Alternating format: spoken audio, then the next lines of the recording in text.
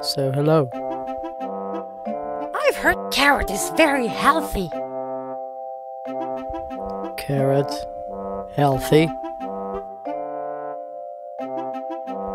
But they're just phosphates. So then, big amount of carrot can kill you, right?